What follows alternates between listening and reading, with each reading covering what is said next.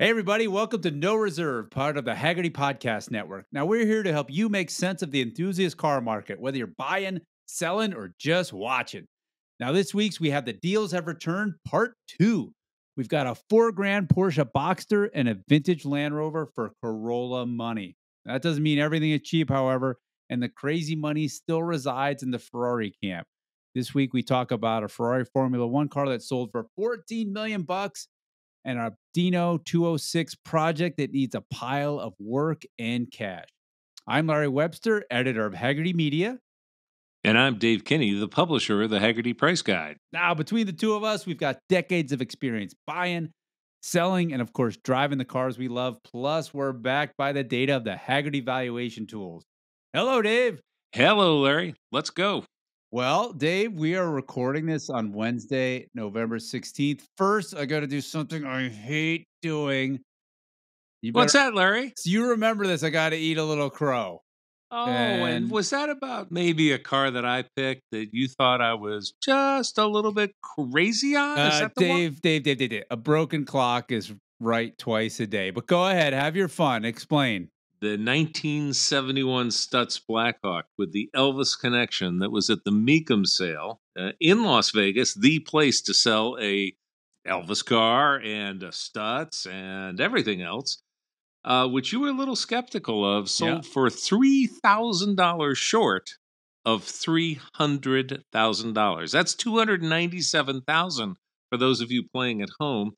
I think I was right on this one. I think uh, maybe you thought it was a ten grand car, maybe something like that. I, I mean, what? It's a kid car. Come on, you know it's, it's like oh oh oh oh. Uh, his name is Larry Webster. Uh, he's available to be reached at uh, Hagerty at any time. You can just give him a call, send him an email. He'd love to hear from you. It's not a kit car. It's pretty close, right? No. The chassis is GM. It's all GM running gear, right? Right? Right? It was made by an actual coach builder. I mean, this is not something done in someone's backyard. In upstate New York, right? No, no, no, no, no. In Italy. In Italy. Oh. Hmm. Yeah. Okay. Okay. All right. All right. Well, there's I, a way I, to start things off. Now, now I got you angry at me. That's good. Let's go. I mean, whatever, Dave. I mean, crow about this all you talk, and and I, I, I can't explain it. I hope the new owner really enjoys it. It's such an oddball car. I mean, and you know, if we go to the other end of the spectrum, probably what I think is more uh, even elegant and a usable car. Did you see that '92 Mercedes 300 SL that sold for 12,000 bucks last week. That was kind of amazing because this car has only 13,000 miles. I'm sorry, it sold for $16,000. Yeah, with all the uh, with all the the uh, fees and stuff like that, apparently it's around seventeen thousand. But yeah, it's a. I, I talked to the person representing the car. Uh, he says it's a lovely car, new tires, valve cover gaskets, things like this. This is the 300 though, and uh, this is with the uh, the wiring harness. Yeah, that's right. And the wiring harness that apparently uh, was so eco-friendly it disappears over time. um, but I still like it. I still think it's a. I still think it's a good buy. That's a lot of Mercedes for the money. Yeah, I, okay, so I get it. The 300 is the less desirable because it is the six-cylinder car. They made a 500 and a 600 around this time. I don't care. I think. I think. I think this is one we can both agree on. I think that was a well-bought oh, car. Oh my gosh, well bought all day long because it's basically a wrapper car. This is the finest looking Mercedes SL of the modern era, in my opinion. And these were overbuilt. This yep. is when when still the engineers ran that company. And it comes with a, a folding hardtop, which was early for the day. Super comfortable, super quiet, super refined. I mean, I just don't. You know how I love to play a substitution game. What would I? What else would I get for sixteen grand that does what this thing does? I don't think you can find anything. That's why it's no. Amazing. Well, it's certainly not going to be anything with as much uh, prestige Style. as as right. those uh, that three pointed star. Uh, just to give you an idea, of the price guide these hit at uh, thirty eight three for a brand new car, uh, number one. Twenty six nine. Our number three is uh, let's see, twelve five, and our number four is seventy seven hundred. So this thing um, sold for let's call it a three plus three plus two minus price, right where right where probably you'd want it, but this is a lower miles one that you probably find. So that's great. Yeah, it's really cool too because it's one of those cars that I don't think most people could would ID that it's 30 years old. You know, they no, still look you're really right. modern. You're right. And, and, and this one was on Hagerty Marketplace too, right? Yeah, it was on the Yeah. Hagerty Marketplace, a new auction thing, and uh, super cool. So you know, anytime there's like a new platform, there's usually deals. So Yep. um, I am definitely keep my eyes out there. Uh, the other thing now that that that you brought up, super freaking cool. This uh, RM Sotheby's sold a 2003 Ferrari Formula One car. Um, I know this was on high on your radar, Dave. Uh, I'm going to go on a limb. I don't know if you'd fit in this thing, but tell me why you want. Uh, you, you liked it. I thought you picked it. I didn't pick it. hey, for um, uh, what was it? Fourteen million six hundred and thirty thousand um, uh, Swiss francs, which is about the same as the dollar. Uh, it, you know, the dollar and the Swiss franc are pretty close right now. Mm. Um, that's a lot of money. It's a great, you know, for somebody, it's going to be a great vintage race car eventually. But it's a 2003, so they got a ways to go before they're going to use it in a lot of vintage stuff. It's a lot of car for the money, and much better than one that just hangs on the wall. So, uh, ex Schumacher, which is you know the the big uh, uh, the big appeal here. I, I, this has got to be one of the coolest Formula One cars of the last 50 years. It's got Five the- victories by Schumacher yeah, on this car. Schumacher. This is the Ross Brawn, Rory Byrne uh, era at Ferrari, where they were just running the tables. It has the non-turbo, 19,000 RPM V10, which uh, go to YouTube. Here are these Yeah, things. yeah. They- no Actually, I said five victories in this car. That's not correct. As he's driven, he drove to five victories during his World Championship winning Yeah. 2003 F1 season. But this was a podium finish car, so that's uh, that's very cool. And uh, uh, you know, it's it's uh, it comes with the Ferrari Red Book Classic A certification, so that's Yeah. even better. I mean, the downside of this is that you are tied to the Ferrari factory if you want to run this thing. yes, you are. You better make some friends with guys at the factory, guys Yeah. and gals at the factory. and and So- they have a a, a Corse cl- cliente. How do you say it? Cliente? yeah, Yes. mm-hmm. Uh, yes. Say your your fancy Client, cliente. Thank you, Dave. Yeah, you bet. Um, so you're going to be tied uh, because it it has all the electronics to run it. You need a whole team to get it fired up.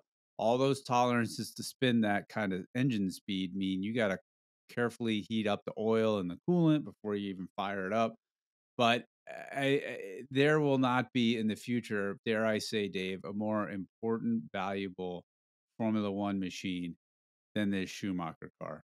It's a very cool car. I mean, there's no doubt about it. I'm wondering who bought it. I wonder if it went to somebody who has, you know, access to a track. I certainly hope so. I'd like to see this thing, you know, out and about again. Uh, it would be nice to see. Well, it speaks to like the, the people that vintage race are crazy.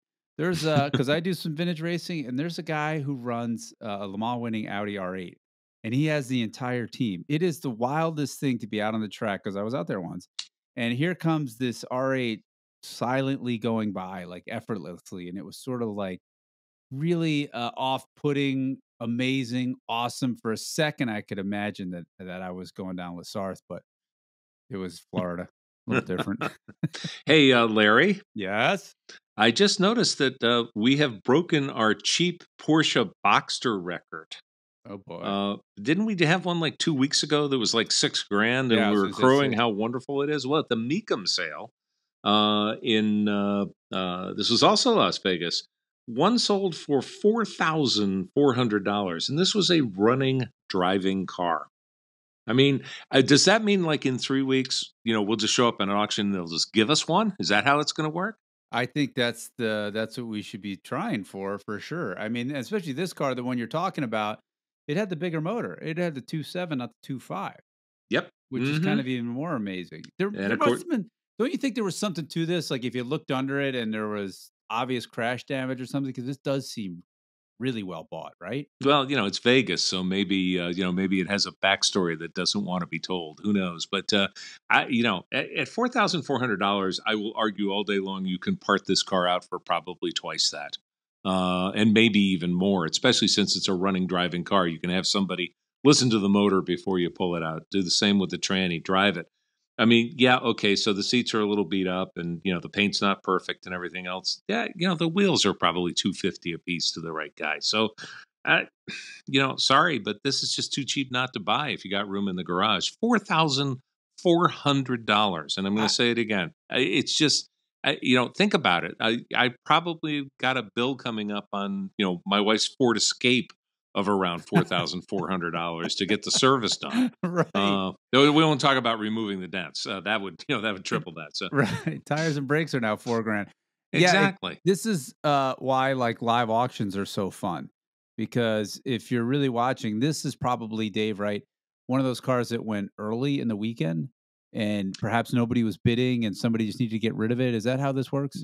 Number 44 on Thursday. I think you're absolutely right. While everybody was setting up or, you know, still at work or whatever, uh, you know, this thing went across and there were no Boxster buyers there. And somebody, uh, I think, walked away with a great deal. I mean, look, even if you use this, even if you, you know, put it on the battery tender, use it at your, you know, your, your house that you use once a month in the summertime at the, you know, the cabin in the woods or something. Yeah, gosh, it's got to be worth it. It's Uh, amazing. I mean, the top alone, like the tops on these things were really, they worked really well. I mean, this power top, and these were fantastic handling cars. They sounded really good. The, what amazes me is I have a junker ratty Miata that's probably worth the same amount. And so, which Mhm. one I'd rather have? There's no question. I'd rather have this Boxster. No question. Yeah. Okay. Well, No. Dave, Dave, it, like you see this stuff before it happens, you got to let me know. Let me be prepared. all right. If you tell me after the fact, it does nothing for me. Deal? Well, yeah, that's why we have another segment where we talk about cars that are coming up. But uh, let's talk about some more that are already sold. Why don't we? Huh? Well, talk about the next one, the the ninety nine, uh, the the nineteen ninety nine Porsche nine eleven that's sold at the same auction. And this, yeah, there are a lot one. of uh, there are a lot of Porsche tears out there right now, from what I understand. Uh, you know, wah, wah, wah, because at twenty thousand nine hundred, this is a ninety nine eleven a nine eleven Carrera Coupe. Uh, this is the built in the uh, 993 factory version because it's a uh, uh, 1999 with an early production 98. It has the cable throttle, which apparently to Porsche people is a really big deal. A number one for this, are you ready? If this was a number one car, which it clearly isn't, would be $63,000. That's our perfect. num- that's perfect, perfect Right, shape. Like Right. So five hundred miles. Okay, so our number three is a damn good car. Okay, like you you would really not you know say goodbye to it for any reason other than you needed the money. That's at thirty thousand dollars. Our number four is at twenty three thousand dollars. That's a car with a lot of stories, maybe, and some you know needs this, needs this. This car was twenty thousand nine hundred, so it's even below our number four. Wow. That's cheap, cheap, cheap, cheap, cheap. And I don't know if that's market indicator or just the fact that this was a, you know, another Thursday car, um, car number 74 at Mecum uh, on November 10th. But that's cheap money again. And uh, again, I would say you could probably part it out for that kind of money, should you want to. But why would you? It's a Well, running, driving there- car. there's a whole host of reasons that this generation Boxsters and 911s, which are very uh, mechanically linked, are are so inexpensive. I mean, because as you know, the interiors were a low point for quality, right? Mm-hmm. Yeah. They look. I mean, the, Yeah. the photos you these are kind of blurry and dark, and I'm telling you, once you sit in it, they feel like they've been a taxi cab for ten years. So that that is a bit of a downside. I I look at I've been looking at these forever. I can't get over the what they call the fried egg headlights. I think they're ugly. And Larry, uh, Larry, you don't see the headlights when you're driving. Remember that. Okay. yeah, it, there's a lot of disappointments with this car in my view because this is right as you know the first water cooled one. I tested them a ton. They're fast, really really faster than the previous air cooled the 993, but you lost a lot of the character. Yeah. Right. The the pedals now don't hinge at the floor; they hinge uh, up above underneath the dash. You got lots and lots of plastic. You lost that pinnacle that 911s had. I get it; they're performing better, they do everything better, but it just lost a little bit of that soul. And of course, the market's uh, you know taking that into consideration. But twenty thousand bucks, I, I wanted to argue with this and say like that was like the right price for this car because it's very unappealing. But what are you going to get for 20 grand? Like a, Yeah. a WRX with 10,000 miles or 100,000 miles is probably 15, right? Your neighbor down the street does not know this isn't a hundred thousand dollar car. Now, not the car guy neighbor down the street, but the neighbor down the street's going to think you just spent a hundred thousand dollars. But in reality, you bought a car with a hundred thousand miles instead. But wait a minute, it's got nine thousand. I'm sorry, ninety nine thousand three hundred miles. So this guy can even get it uh, get it financed for the next seven hundred miles, right? So, yeah. Okay. So you need a car. You're going to go to the dealer and buy a new Civic or are you going to get a 20 year old 911? I know what I'm doing. What are you going to do, Dave? Oh yeah, I don't think I'm a Civic kind of guy. So uh, now if it's an Accord, uh, you know, maybe uh, well, whatever. Yeah, there you go. All right. So uh, the other one that was really cool is this is really really old British Jeep called the Land Rover. And Sure. Man, they get this old, and I, I gotta be straight with you, Dave. I sort of lose me a little bit, but um, I know you're you just got back from from Ireland. You're really big into the old country. This this thing probably tickled your feather, didn't it? Oh, I like this thing. I like this thing for another reason too. It was eighteen thousand one hundred fifty dollars. We're talking a '59 Land Rover '88, uh, which is Mm, the wheelbase on these things, Series 2A. Mm. Um, this was not the diesel. It's in Keswick green, which is the color you want for this. I mean, it's the uh, you know, it's the landed gentry color. It's the rich people color. It's the uh, uh, where did I park my Land Rover? Uh, I'll have my boy go get it uh, color. So it's all great with that. Um, at uh, let's see, it sold for eighteen one fifty again at Mecum. Uh, we have a number four at seventeen three, so this is right around our number three price, where our number one goes up to eighty seven six. Now this was not a number one car. It does have new tires. Uh, it's got the brass fire extinguisher mounted in the back, which is kind of cool. It's got that uh, you know that uh, interior where the uh, uh, kids sit in the back and they look at each other and get in a fight, as Mr. Colin Comer reminded me uh, last week. Um, this was restored in 2022. It is Oh, not. It is not an old uh, crap box. It is actually a pretty good car. well, Um, w- and wait, Dave. also converted to 12 the 12 volts, so you can even start the damn thing. let's talk about condition a little bit. When you say number one, number two, number three, number four, these are what the Hagerty price guides use to kind of determine what shape the car is in, because of course that determines the price. Yep. So n- number one is more or less it drives off the showroom as as good as it will ever be. On the concours lawn, on the showroom floor, you're absolutely right. Right. So number one, you almost never see. So Right. kind of the best you're going to get is a number two. You know, this one we we're not looking at it. the The panels are so straight. I mean, it's not hard to do a restoration. This one looks to me like a two, three. So Yeah, pretty yeah. nice, right? And those panels are aluminium, my friend, as well. Not aluminum right. because they're in Britain, so it's aluminium. Uh, the best way to say it is just say alloy, and everybody understands. But anyhow, um, this car had a restoration on it. I think it was between a two and a three, which means it would be worth between thirty eight nine and fifty one thousand dollars. And this Yeah. thing was bought probably the best buy we've got today at eighteen one fifty. Yeah, somebody got a great deal. Yep. And you know, here's the other thing question for you. I think in the US, when it's left-hand drive, because most of these are right-hand drive, that's gotta help the value. And so this one's even got that great feature going for it. Sure, unless you're delivering the mail in the United States, you do not want a right hand drive car. Uh, full stop. I'm with you. I mean, I I know people that have it and they're like, oh, it's no big deal. I'm like, yeah, no, that sucks. Yeah, and So you you can't pass anything because you have to go way out into the lane, and by that time, it's already over. So yeah, not good, not good. Yeah, the, the thing is with these, um, you know, they they're really primitive. They're very much like tractors, but they're they're really fun to just bop around it. Yep. So, um, you know, if we can imagine ourselves with our Hamptons house, Dave, I know you've got one there, a couple. This is probably the perfect car to go get coffee in for that. And for the rest of us, maybe I don't know, maybe go hunting, maybe you do a little off roading, overlanding, who knows? But cool car. I, I don't know how you found out about my house in the Hamptons. I, I'm and I have to talk to Billy Joel. I live right next to him, and you know, it, it's just you know, and Martha Stewart is blabbing all the time about my house. So I guess she was probably the one who told you, right? Yeah, she's getting all her best recipes from you, is what I hear. Yeah, me and Snoop. Okay, let's move on to the kicking tires segment. These are uh, cars that are currently for sale. And a friend of ours both sent us this one, a really intriguing car. It's a 1988 Merkur XR4TI five speed manual. Uh, this is the Bob Lutz special, right? Because Bob Lutz was was over at Ford at the time. He saw this car in the global lineup and he said, "We got to get something sportier in the U.S. for Ford." Put it in the Mercury dealership. It's basically a Ford Sierra.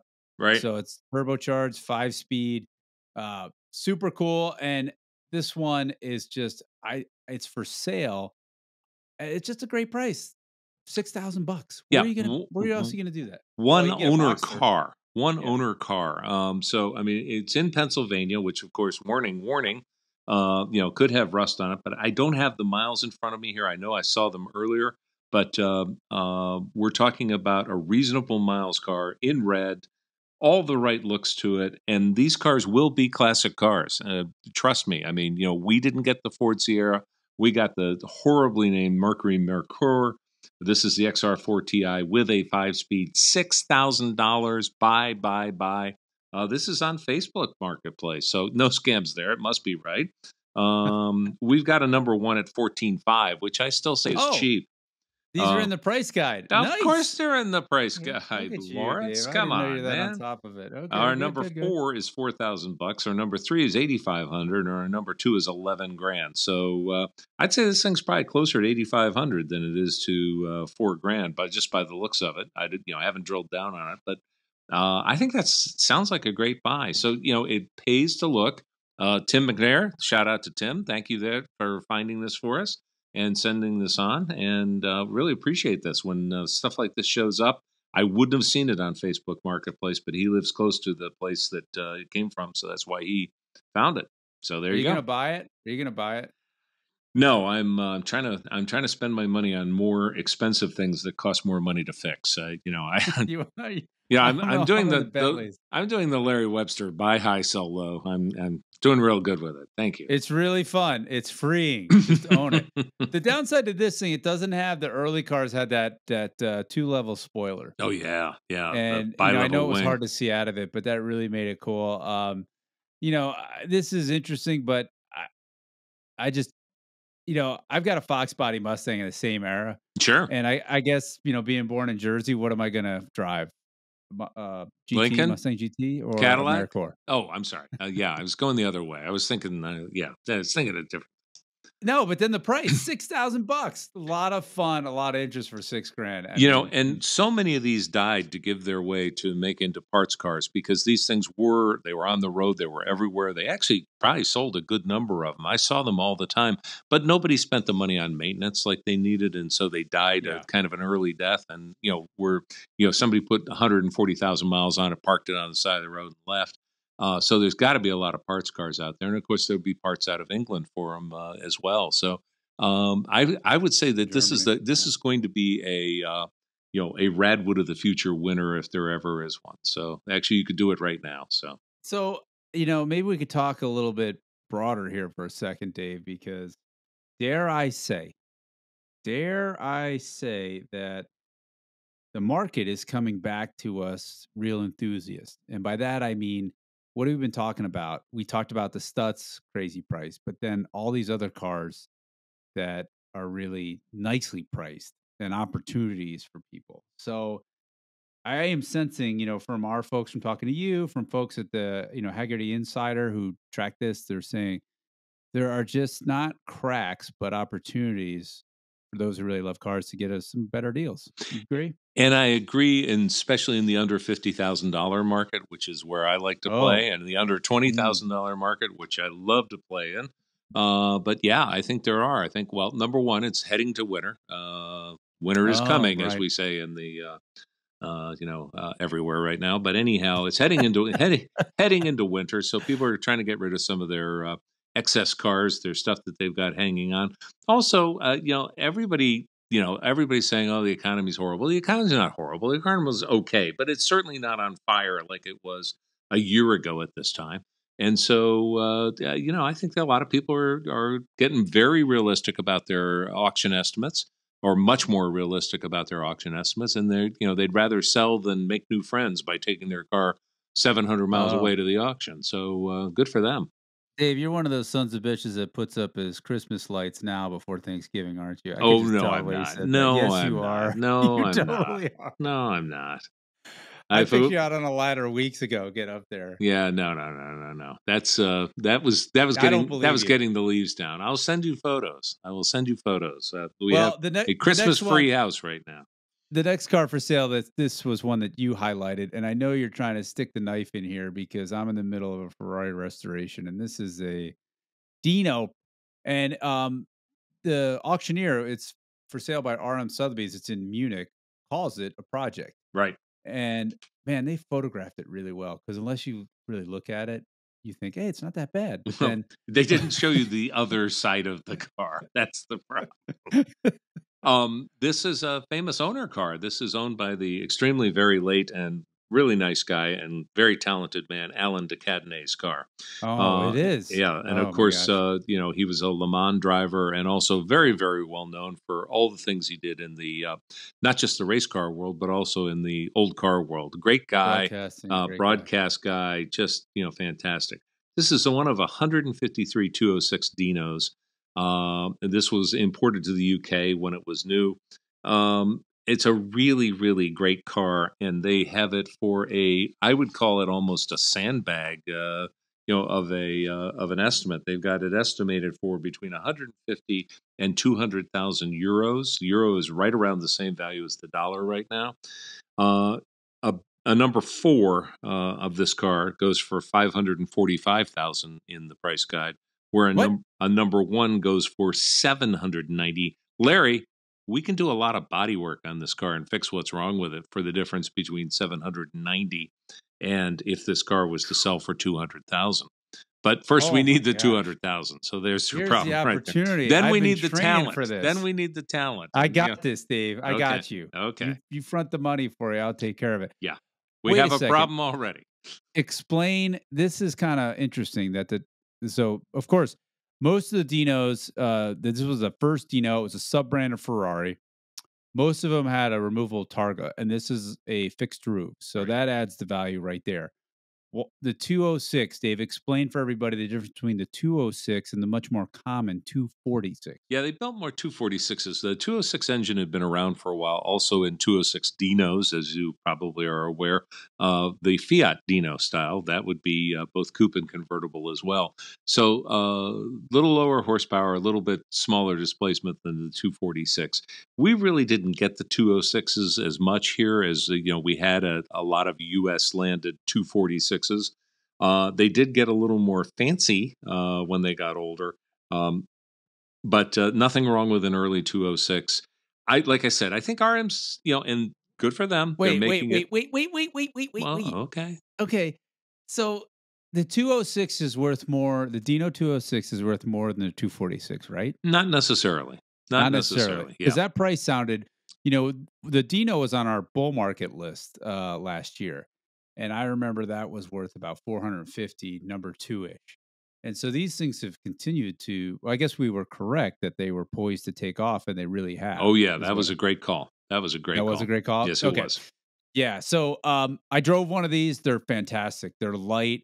Uh, you can see out of them. Super gorgeous. Oh my gosh, it's like the most beautiful thing. But the 206, um, you want the bigger displacement motor. It's just slower. I mean, that is the downside of this car. I think it's only got the 206 uh, engine. You know, that doesn't bother you, does it? No, it really doesn't because I mean this is certainly not a boulevardier. It's a it's not even a Grand Tour. It's a little sports car. I think there's plenty of power in a 206 Dino. Uh, I mean, you know, okay, yeah, you you know, nothing beats horsepower. That's that's exactly right. But it's still a good-looking car. I think this car is all about the design, all about the build, all about the unusual construction of the car. Uh, you know, it's mid-engine car, so you've got a trunk in the front and a trunk in the back. I guess we now call them frunks in the trunk. I mean, in the front, uh, and really, really highly developed for its time. Um, you know, not well appreciated as it should have been when it came out, but I love the design of these cars. It just looks really, really good. Not organic good, not like it just came from the earth good, but really well sculpted good. I love it. Love it. Love it. Love it. It'll And- be interesting and- to see. And like I said, I think that uh, you know by putting it in at a very low reserve, uh, I think they're going to get an awful lot of activity on this car. Um, we we should check back after this is a Munich sale in uh, 26th of November, so it's coming up. Let's check in on this one and see what it went for. But uh, I'm thinking it's not going to be anywhere close to 200,000 euro. I think you and I get on a plane for Thanksgiving weekend and go out there and get this thing. de Cadenet would not have bought a crummy car. That's right. He That's knew what right. he was doing. Oh yeah, exactly. So, um, again, you always say you buy the previous owner, and de Cadenet really knew what he was doing. So he must have bought it really cheap because for a while they were all right.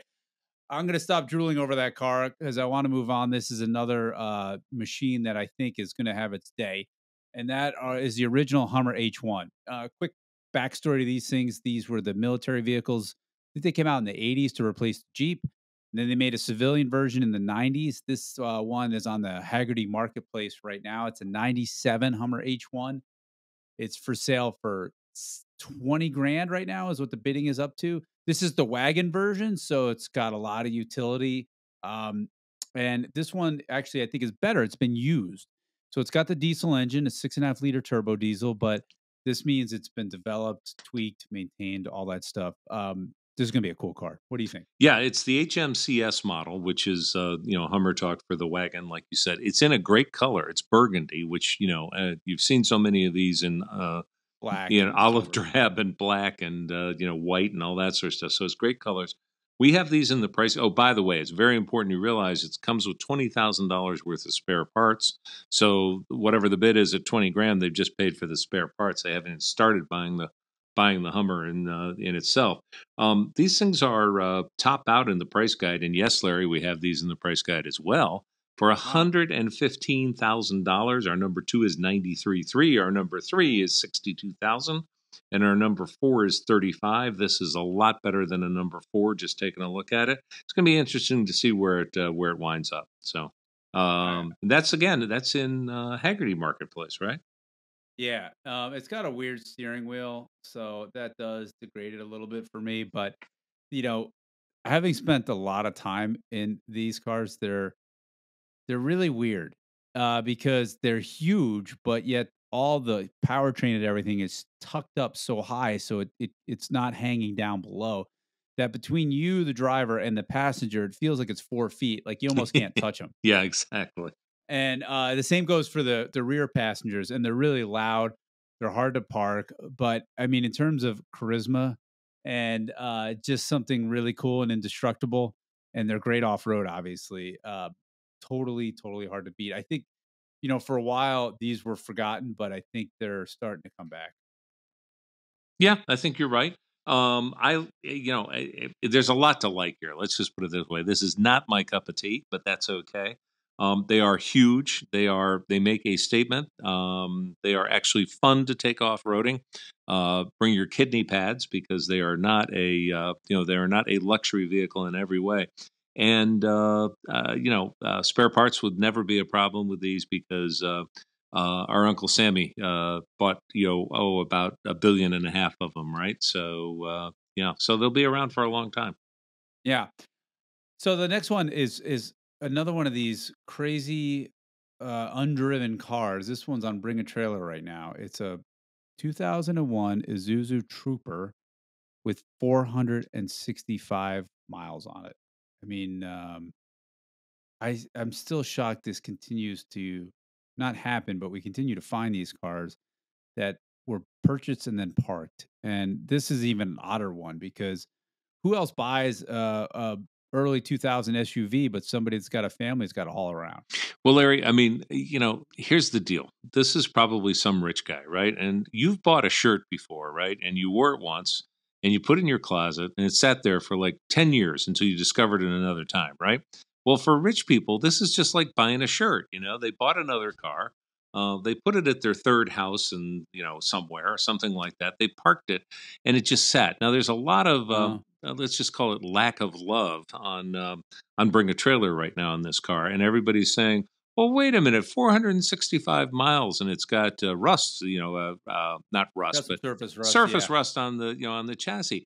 Have you ever parked a car outside for 20 years? I mean, you know, this stuff does happen.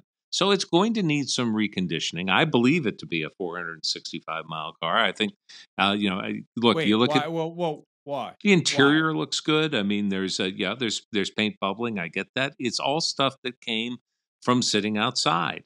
Uh, it doesn't mean that it was in a bubble. I mean, you know, for car collector guys, you know, we always see these cars that you know somebody bought new, and it's J.P. Gotrox's car, and he put it in one of his outbuildings on his mansion, and sure enough, it's air conditioned, it's heated all the time. Well, this guy left it out. It's probably under a pine tree somewhere, he said, Yeah, I'll get to driving it. You know what? I really hate it. I don't like it. Let's just let it sit, or something along those lines. But uh, so 465 miles doesn't need its doesn't mean it's brand new in the wrapper. It just means it's incredibly low miles. You're going to have to do the brakes. You're going to have to do all the rubber bits inside on the uh, uh, you know inside the engine compartment, all the you know fan belt, uh, all that sort of stuff. The wires inside uh, you know, engine compartment stuff is what I'm talking about. Not, uh, you know, hopefully the wiring harness is intact. It's at six thousand one hundred dollars this morning. I have no earthly idea where this thing's going to wind up, but everybody loves these troopers, and uh, you know this could be a uh, somebody's home run. Who knows? Oh yeah, this is when the trooper got worse. Yeah, the, the generation before this was way cooler. It was way more primitive. So this was a more comfortable, more refined one.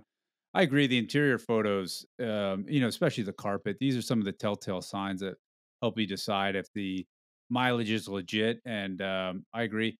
It's really funny looking at it. You know, this era, like the late '90s, the Japanese, they all had the same basic dash design, right? Yep. That it went across and then down the center in black. The this they must have all bought the shifter from the same company. And um, but yeah, what a weird time capsule car. I mean, these just had really nothing to differentiate themselves at the time, other than you know the the rear door was kind of cool. It had a one third, two third door, which you know that's kind of fun. Yeah, yeah. I don't know. I I think it'll get. Oh, I think it'll get fifteen grand. Hmm. Bet you it does a little better than that. You do? Yeah, I do. Oh, I do. I think this thing's going to do in the twenties. Oh. Um, but I, you know, this is one of those I'm not going to bet any uh, real money on. So, uh, I mean, it could go either way in terms of if it's going to go. Uh, I, you know, I, I can make an argument for well into the twenties. Let's put it that way. Mm, okay.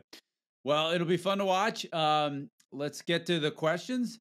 Thank you very much for your questions. We really appreciate it. Uh, Terry from Federal Way, Washington. He went to a collector sale in Vegas, maybe this Mecum one, who knows? And he saw a group of guys bidding on a car. Does it happen often that people pool their money to buy a single car? And is it smart? Oh boy. Yeah. Mine. Yeah. You go I, first.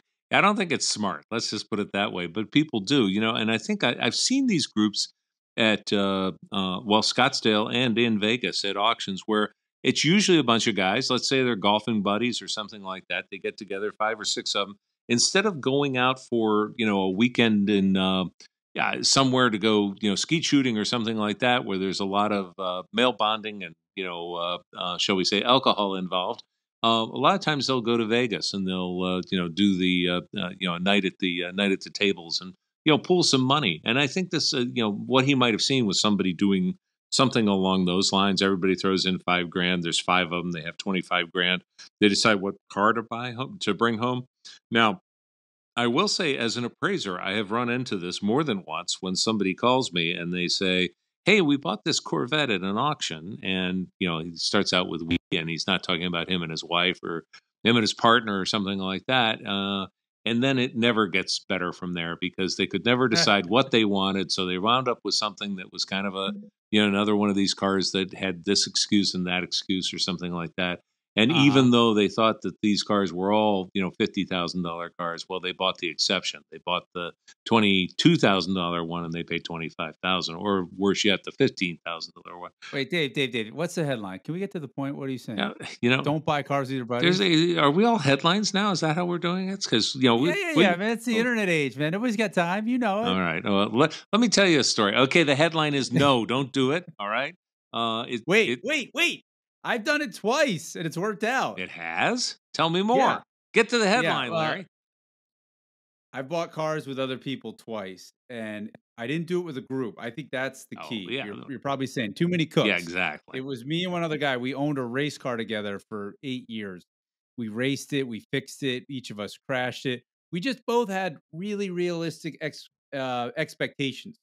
We said, look, anybody crashes, we're going to split it because I trusted him. Same goes, uh, and we had a great time. We sold it. We didn't care what we got. The next car I bought, a friend of mine came to me and he says, Hey, there's this NSX at a used car dealer here in Ann Arbor. I think it's a great deal. It's 30,000 miles. They want 30 grand. I was like, wow, great. 91, bought it. We each split it. Though that almost didn't work out because I wanted to drive it. He didn't. mm-hmm. And he really didn't want to use it. So we said, well, let's, we'll sell it. And it was right at the time when NSXs went nuts and it sold for $65,000 six months later. So, Dave, that's my one and only successful flip. Well, that's a So that's each- a pretty good flip. I'm sure you told the IRS about it, right? Uh, Dave, this is so inappropriate. Why would you get into my personal finances on this show? I'm no used car dealer, Dave. Of course. Of course you did. Yes, of course you did. That's the answer. So anyway, anyway, um, you know, I I think if you are really open and you communicate, and it all is based on trust, it can work. You've probably done it. I know you have. Well, I just found out that you had two friends. I had no idea. So I mean, I, I, I did learn something today. So there you go. No, I, I say, you know, I don't think you would do it with a group. I think you know, two people pooling their money, that's fine. Uh, don't do it while you're drunk. Uh, don't do it on the spot. You know, do your research and and you know target a few cars. But yeah, uh, it can be done. Yeah. Okay. Uh, Meg from Auburn, New York. Her question is Do auction companies allow you to inspect and test drive a car before the sale? Great question, Dave. What, what, what's the answer? The answer is yes and no. Um, you can inspect yeah. cars at auctions most of the time. You, you can't take them apart. I mean, you know, you can look under the hood at most auctions. There's some that are a little picky about that. You should be a registered bidder before you do that, and you should tell somebody at the auction company what you're doing so they don't think you're stealing gear shift knobs out of the car. Uh, but uh, uh, and there are auctions. Uh, I, I, will say that Gooding is really good about this. I've seen this a number of times, and of course RM is as well. Um, uh, you can go with a specialist and Bonhams as well. So I'm sure Broad Arrow will do the same thing. Uh, they have enough time that if you show up the day early or two days early, hopefully, uh, and you tell them that you're interested and you're known a a known bidder would help a known person they'll take you out for a spin uh, and uh, you can learn a lot about the car that way that's a lot better than just buying blind so uh, i would just say the answer is yes in some instances and no in another you can't do it at a mecum sale most likely unless you know somebody there because they just have too many cars and there's too uh, too little time to get it done. Yeah, like a Barrett Jackson would be tough. Exactly, exactly, and yeah. I get that, and I mean, you know, that's fine. When you're selling 600 cars in a weekend, it's a lot different than selling six uh, cars in a weekend. So. Uh, but yeah, uh, I think even even online auctions, I would recommend you, if you can, get in touch with the seller and see if you can go drive it or go for a ride, as you said. I think it's um, it's been hard doing this show because I'm looking at all these cars and I start getting itchy fingers. and I, the last one I bought, sight unseen, I actually wrote about it on the uh, Hagerty Media website, and it was a complete train wreck that looked fantastic in the pictures. So I'm glad I remembered that. I'm going to go back and reread that and try and uh, stay to that because I find it very, very unreliable to buy cars off the internet. Yeah. So yeah, yeah I mean, there's always an element of risk. Never, ever, ever spend more money than you can lose. Yeah, but Dave, if you do that, then you don't have any cool cars. I mean, yeah. Well, I mean, you know, they, well, there's still five hundred dollar cars out there. You can, you know, uh, you can you can buy them online if you want. Or hey, how about a, a, a Merkur? You could buy that. That's uh, six grand. Okay, great point. So, you know, we're gonna wrap this show up tons of interesting action this week, right? We we saw a lot of cars, really cool for reasonable money. Fantastic. Dave, floor is yours. Do you have any final comments? Yeah, I'm thinking that uh, maybe, just maybe, uh, with the sanity returning to the market, we'll uh, we'll get more uh, opportunity to look at some of these cars that uh, go for below the price guide value, and uh, we'll also have a lot more fun cars that we can talk about in the under fifty thousand dollar range that are affordable for mm-hmm. more people. So I think that's uh, I'm looking forward to some of that. Plus, we we got to throw in the million dollar cars as well. But um, you mm-hmm. know, it's it, it's going to be a fun winter. I think. Well, I got you, Dave. Lots of good exciting deals coming back. It's very, very exciting. Um, I, for one, I know you had something to do with that Stutz Bearcat auction just to make me look bad. I will not forget this. I know what you did. the evil Dave strikes again. I know you're very connected. You've been around for a long time. Uh, so payback will be ugly. But let's remember these cars are investments in joy as we all say, Dave and I both say all the time, buy what you love and you'll never be disappointed. Please, we love your questions. Leave them in the comments. And thank you so much for listening. Catch you next week on No Reserve. Take care, everyone.